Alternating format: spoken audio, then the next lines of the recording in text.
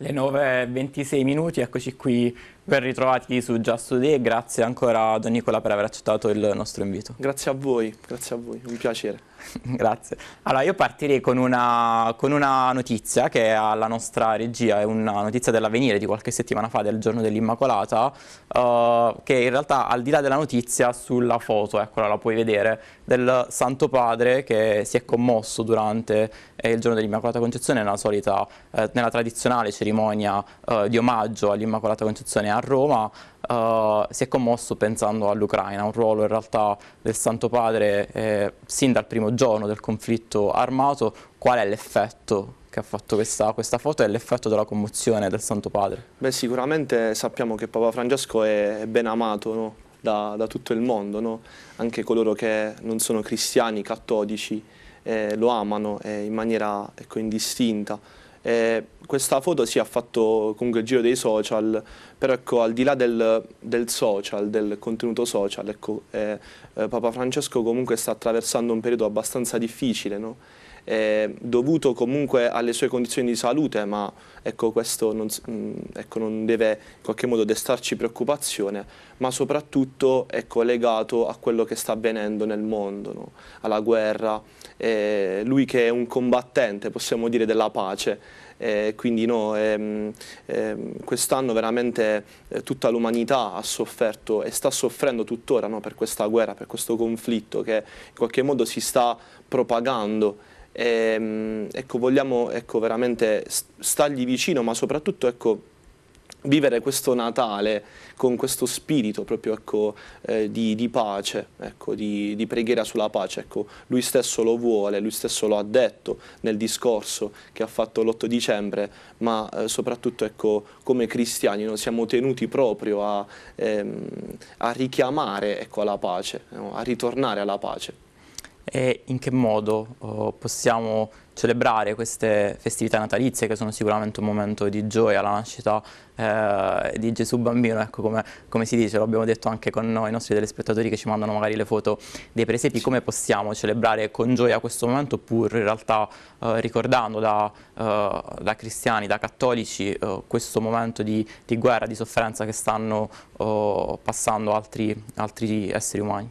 Beh, sicuramente sarà un po' difficile, no? sono emozioni contrastanti, no? quello della pace, eh, o meglio quello della gioia no? del Natale e quello della guerra che ancora, è ancora in corso.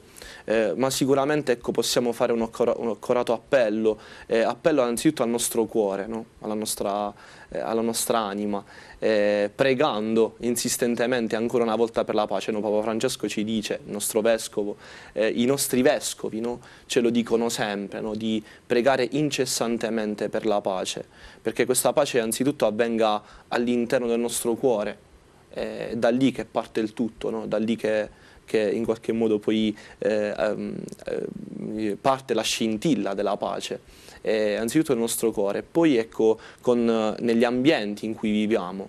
Ehm, All'inizio ecco, di questa guerra, di questo conflitto, eh, tante, eh, tante, persone si sono in qualche modo ehm, eh, messe a disposizione, eh, anche concretamente, con degli aiuti fattivi, però io penso che l'impegno più concreto no, che possiamo avere in questo tempo e, e anche in previsione, no, anche in queste feste di Natale, è proprio la preghiera. No?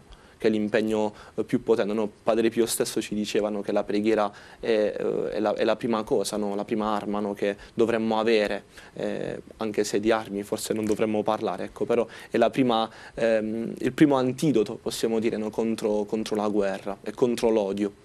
Tra l'altro andiamo, se la regia ci aiuta, andiamo proprio con la webcam sul sagrato di Piazza San Pietro, uh, appunto questa piazza che si sta preparando, ma soprattutto la, la Basilica di San Pietro si sta preparando a quella che è la veglia eh, di questa sera, anche se in realtà tutti noi sappiamo la veglia delle veglie in realtà è quella della, della notte di Pasqua, ma è sicuramente un, un momento importante anche quello certo. che ci certo. apprestiamo a vivere certo. eh, questa sera e poi domani mattina per quella che sarà la benedizione eh, Urbi et Torbi da parte del Santo Padre alla città di Roma e, e al mondo. Quali saranno secondo te i messaggi eh, che saranno utilizzati dal Santo Padre domani? Beh, io penso che i messaggi utilizzati dal Santo Padre, che utilizzerà il Santo Padre, è anzitutto ecco, quello della, della, pace, ma soprattutto quello della, della gioia e della luce che sono un po' le tematiche principali di questo, di questo Natale. No? Eh, Dio si è fatto uomo, no? questo è, è, il messaggio che noi siamo chiamati no? come cristiani, ma come uomini e donne di oggi a riscoprire sempre di più perché celebrare il Natale ogni anno? No? Proprio per capire a fondo e nel nostro cuore, nel nostro intimo questo mistero cioè di, di, questo Dio che si è fatto uomo, che si è fatto carne. Sicuramente Papa Francesco parlerà proprio di questo, no? di questo Dio che eh, poteva scegliere un altro posto, invece è venuto a nascere, eh, a incarnarsi e a stare nel grembo di una donna, no? di una donna come tante altre donne eh, ed è bello no, che ehm, la, festa del, sì, la, festa delle feste è quella della Pasqua, no? eh, in cui ecco, ricordiamo il mistero proprio di Gesù, no? Del, della passione, morte e risurrezione, però il Natale è anche una festa molto importante per, per tutta l'umanità per tutta l'umanità, perché è questa luce no, che viene ancora una volta a risplendere, no? nonostante ehm, eh, tutti i disastri, possiamo dire, che l'uomo compie il male che l'uomo compie, no? ma questa luce che ancora una volta eh, viene ad abitare all'interno dell'oscurità. No? questo è il messaggio, no? il messaggio della luce.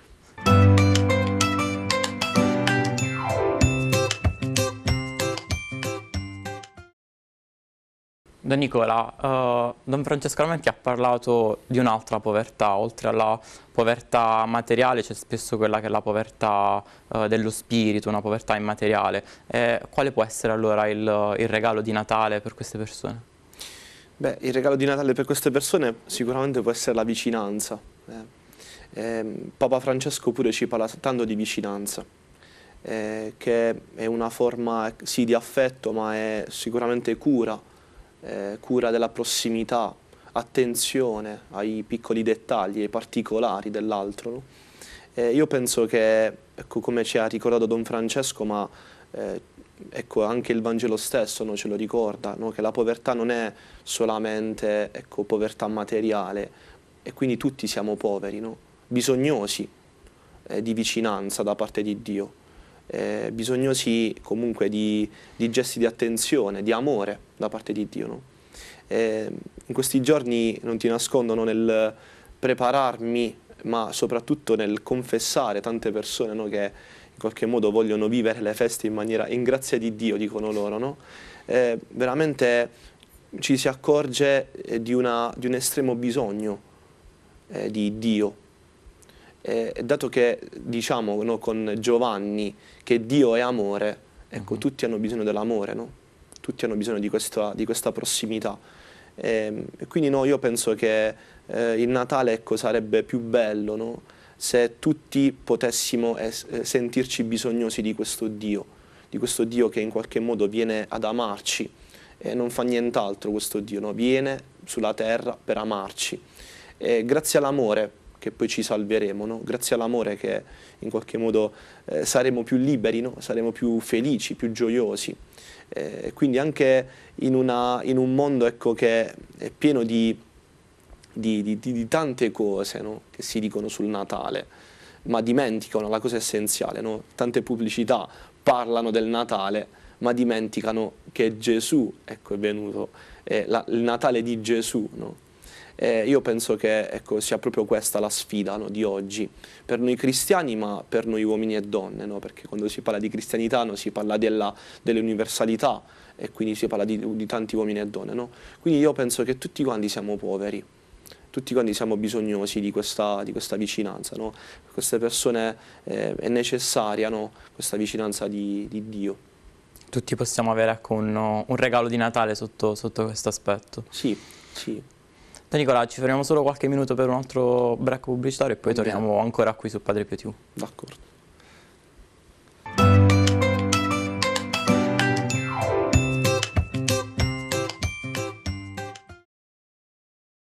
Le 9.42 minuti, in realtà quasi è già 43, grazie per essere ancora qui con noi, grazie Don Nicola per essere eh, qui con noi. Qual è il messaggio che avremo uh, per questo Natale da quelle che sono, saranno le letture, ma soprattutto da quella che sarà uh, la parola del Signore, il Vangelo. Allora, intanto ecco, è bello il Natale che, ecco, come abbiamo detto, no, è, non è solamente un, un giorno no, il Natale, ma è, sono otto giorni no, pieni di luce, di festa. è un po' come la Pasqua, un po' come le feste importanti nel, nel calendario liturgico e eh, in realtà ecco, ci fanno rivivere per otto giorni. Perché questo? Perché questa scelta? No? Perché dobbiamo ritornare sempre su questo mistero, no? ehm, che in qualche modo è, diventa incomprensibile, no? però ecco, ci possiamo avvicinare a questo grande mistero. Eh, il giorno di Natale è fatto ecco, principalmente da quattro messe mm, che iniziano già nel pomeriggio del 24, quindi no, della vigilia, la messa vigiliare, eh, in cui ecco, ricordiamo ehm, la genealogia di Gesù, eh, la, dal Vangelo secondo Matteo, eh, quindi questa eh, diciamo, serie di nomi nel quale ecco, poi c'è anche il nome di Gesù. Poi c'è il Vangelo di Luca, nella notte di Natale, no? quello un po' più, possiamo dire, da eh, cronistoria, no? un, po di, un, po storico.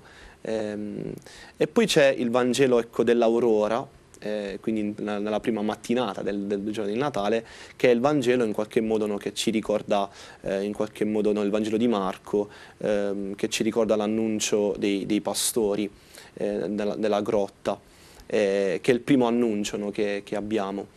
E, ehm, e poi c'è il Vangelo in qualche modo della, del giorno, che è il Vangelo un po', eh, quindi legato al Vangelo di Giovanni, eh, sul, sul, verbo no? che, si, che, si, fa carne, no? come abbiamo ricordato prima, eh, prima della pubblicità. Eh, il verbo che si fa carne è bene ad abitare in mezzo a noi, no? anche se eh, le tenebre non l'hanno accolto, ecco però lui eh, ha voluto nascere, non, nonostante il, la, la, nostra non accoglienza che in realtà è, è, sempre attuale questa non accoglienza no? da parte di questo verbo, no? questo, eh, possiamo dire questa parola divina che si fa, eh, si fa concreta, si fa palpabile, diventa percepibile, no? eh, si può toccare col, con le nostre mani, no? e questo è il grande mistero no? che andremo a celebrare in, tutta, in questa festa, in questo, in questo, giorno, che come dicevo non finisce il 25, ma finisce ecco, dopo un ottavario. in realtà, ecco, secondo la tradizione ehm, anche di Costantinopoli orientale, ehm, in realtà finisce anche eh, l'8 gennaio con il battesimo di Gesù Gesù, eh, perché è lì che si compie, possiamo dire, questa manifestazione visibile del Signore, no? con il prodigio e con, la, eh, con il battesimo di Gesù.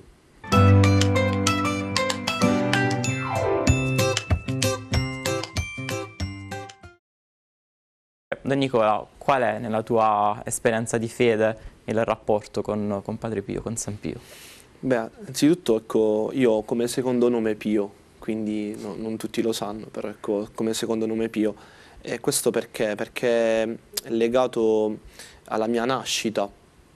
Sono nato a San Giovanni Rotondo, eh, in ospedale, Casa Sollievo, e, e mia madre ecco, ha dato, mi ha voluto dare questo secondo nome proprio perché ehm, ha visto grandi cose no, in ospedale, no? ha visto comunque eh, come la trattavano no? anche durante il parto eh, i medici, gli operatori i sanitari e, e, gli infermieri. E, e quindi eh, grazie a questo ecco, è rimasta molto, molto colpita. Eh, prima, prima, cosa. Poi seconda cosa perché sono nato comunque nel periodo di, della festa, intorno alla festa di San Pio, no? tra San Pio e, e San Francesco. E, quindi no, proprio per questo ho voluto darmi come secondo nome Pio. Nel corso del tempo ecco, questa cosa non ci facevo tanto caso, eh, però ecco quando poi ehm, il Signore no, eh, mi ha fatto capire grazie a, a tanti segni forti no, della, sua, della, sua, presenza eh, questa strada che dovevo intraprendere eh, quindi, eh, attraverso quindi, la chiamata eh, a diventare sacerdote in realtà ecco poi man mano che ehm, ho chiesto anche l'intercessione a, Padre Pio no, perché mi aiutasse in, questo, in, questa, in questa strada eh, non a caso ecco, da qualche anno, eh, da, da, un anno ecco, che sono qui a San Giovanni Rotondo come sacerdote, ecco, in realtà tanto spesso ecco, mi affido all'intercessione di Padre Pio, no? perché veramente lui è stato un grande ecco, sacerdote anzitutto, no? ma una grande persona di fede e di preghiera soprattutto, no? silenziosa, umile. In realtà, devo essere sincero, la sto riscoprendo sempre di più questa figura non, eh, in, anche indirettamente, attraverso l'esperienza concreta delle persone, no? del popolo di Dio, di San Giovanni Rotondo, che ha avuto un'esperienza diretta con questo santo. Eh, e quindi no, grazie a quello che mi raccontano, grazie a coloro che eh, magari erano anche i primi medici, no? i primi infermieri dell'ospedale Casa Sollievo che mi hanno raccontato certe cose, no? io veramente rimango sempre più sorpreso e meravigliato di, di questo santo, che, di questa figura molto eh, povera, possiamo dire, di umili, di umili origini, ma che si è lasciato illuminare eh, dalla grazia di Dio no? durante la che sua vita. Che in qualche modo ha comunque impresso un, uh, un sigillo ecco, anche sul tuo percorso sì, di fede. Sì, sì.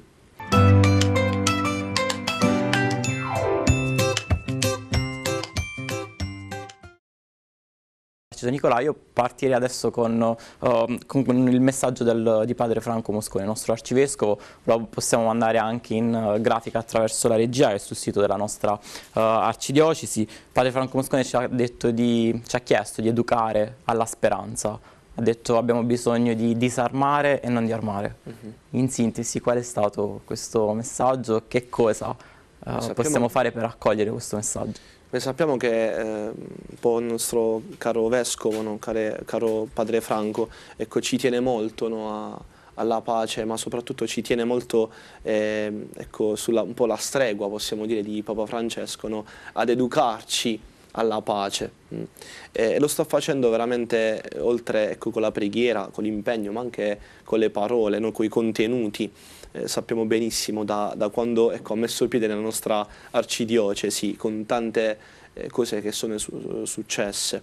Eh, io penso che ecco, il eh, nostro caro, caro Vescovo all'interno comunque di, di, questo sinodo no, che, che quest'anno eh, in qualche modo abbiamo iniziato, eh, vuole, ehm, ecco, l'invito è quello di educarci alla speranza, alla speranza nel senso che non dobbiamo ecco, intristirci, intristirci per quello che ascoltiamo, per quello che viviamo, per quello che sono ecco, le notizie anche tante volte che ci lasciano un po' ecco, sgomenti, eh, ma dobbiamo ecco, educarci alla speranza perché quello, quella speranza rinasca sempre dal nostro cuore. No?